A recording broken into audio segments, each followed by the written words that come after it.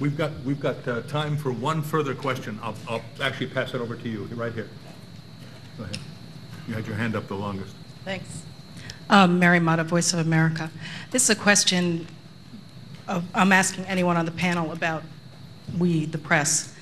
Why do you think it's easier for us to cover things like rape as a tool of war in places like West Africa and other places um, around the world where it's been widely documented, as opposed to some place like Iraq? One of the things that we have to face up to, and we see it very clearly in the Baha Mousa inquiry, is a historic British colonial savagery, if I can put it like that. The techniques that we were using in the Mousa incident, hooding, stress positions, food and water deprivation, sleep deprivation, the use of noise. Those all go all the way back to mandated Palestine, through all the colonial wars, Cyprus, Malaya, Aden, Kenya, and into Northern Ireland. And you might think that when Ted Heath banned it in 1972, it stayed banned. No, not at all. If you look at what the British did in Iraq, it's a savagery. These Iraqi men simply did not exist. They had been completely dehumanized. Now, my take is one of the reasons the press are largely silent on all of this is we just don't want to face ourselves. That's my take on the, on the, on the British um, position and what we did in Iraq. You'd have to ask the Americans for their take.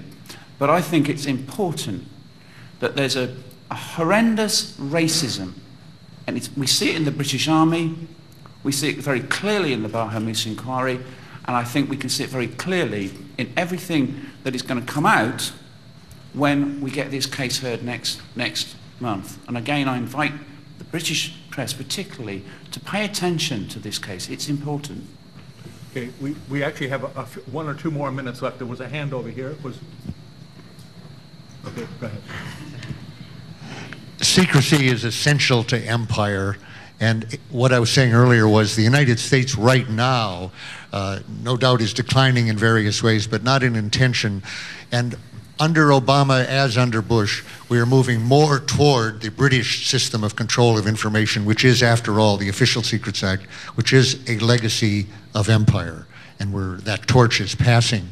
The Republican administration, a Republican House and Senate, if that comes into being in the next month, is almost certain to pass a British type Official Secrets Act, essentially ending leaks uh, of the sort we've seen over the last 40 years, 60 years, which means that WikiLeaks becomes more indispensable than it has been. It becomes the future of unauthorized disclosure.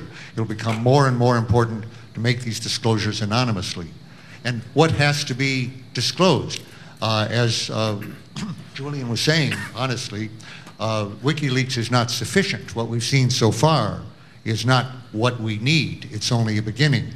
It's not the Pentagon Papers, strictly speaking. We still need the Pentagon Papers of Afghanistan and of Iraq uh, on the decision making and the accountability. But for that matter, the Pentagon Papers were very inadequate too. They weren't the White House papers, the CIA papers. It took us generation to get most of those, and we haven't had any of it really on the later wars since. So what we need is uh, the closest to it in a way are the classified documents that were shown to Bob Woodward for his latest book. So uh, possibly uh, Woodward could contribute to the net all the documents he was shown, top secret.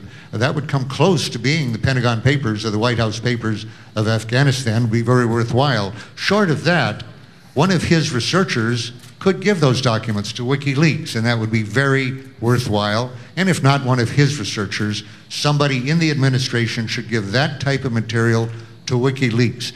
Bradley Manning is accused of doing what he could at the field level at the risk of his life, very admirably. He's a hero, in my opinion, to end this war. He did what he could.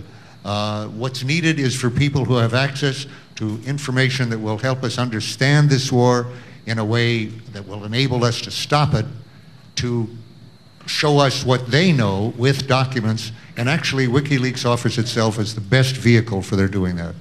Okay. Thank you. Um, I think, in fact, what we're going to do now is uh, not run a, a photo call, which was booked here for simple reasons of time now, because it's gone over quite considerably. But we have a short film produced by WikiLeaks to help to explain some of the technical issues uh, involved in reading the documents. It's a, a very short film, but might be helpful to you um, because it comes from a knowledge of those documents directly. It's, should be up. You canceled it? Yeah. Oh. So, okay, well, you're not going to see it then. So this is, this is how to read the data. That's, that's the one. Yep. That's the one. So that's just the slides. We're still doing that? Do, uh, we, we still have this film, don't we? Slides. Ingi? The, the film or not? Sarah? Do we have the slides? Okay, let's go. Let's do it. Yeah, okay. Sorry, it's going to happen. Sorry. So, because we are so incredibly overloaded presently, you might not have actually seen this yet, but um, this is it, warlogs.wikileaks.org. Uh, this is a, a souped up version of what we use uh, for... This is a souped up... This is warlogs.wikileaks.org. It is the interface to explore and analyze uh, these 400,000 uh, classified documents about the war in Iraq. It is a similar interface to what we produced subsequent to our initial release for Afghanistan, but a bit more sophisticated and able to handle um, many tens of thousands of people simultaneously.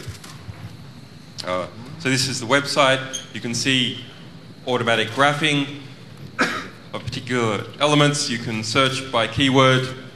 Here's an example of uh, selecting one of the categories on the side that is produced by the US military. These are types, regions, attacks on type of units, and several other categories um, that are not produced by us, but they're the internal military categories. By clicking on these, uh, you will see them appear here.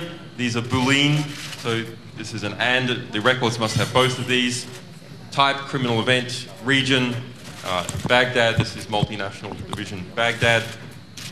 And this is a list um, of reports with sort of keywords in context.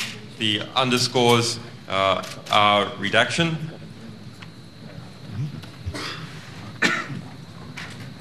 And this is looking a bit further down on the side panel here. So you can see graphs um, and the number of documents uh, for each one of the numerical fields. So civilians killed, date, host nation killed, host nation wounded, friendly killed, etc. Uh, quite, quite a few of these, very easy to use. Here's an example of going into a particular record. Um, so bodies found in a car in the vicinity of Baghdad. Uh, you click on here, expand acronyms, very important, otherwise this is almost completely unreadable. Um, and here it is in red, the things that are expanded in acronyms. Killed in action would have been KIA, uh, died of wounds, DOW. Uh, and on the left, um, the, uh, the structured data uh, concerning this event. Um, and it will go down a bit. This one's quite interesting here. It's not often used, but this is critical incident reporting. It sometimes will include a field which is may cause international media reportage. So actually, if you want international media, something to report, you just hunt on this field, and they've done part of the work for you in some cases. Obviously, some units where they are involved uh, themselves in a crime uh, don't like to uh, suggest that they have done so through the use of this field.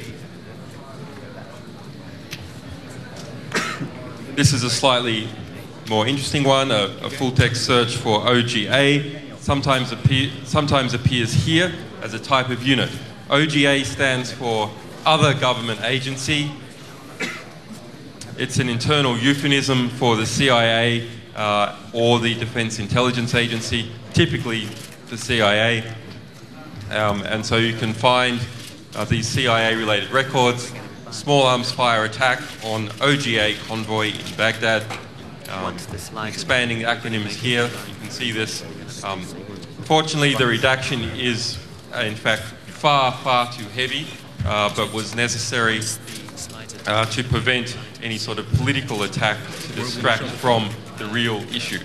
Um, as as time goes by and we work through this material manually, um, we will be able to decrease the uh, levels of redaction. But in this report, not too bad. It's, it's mainly uh, the names and some specific um, locations.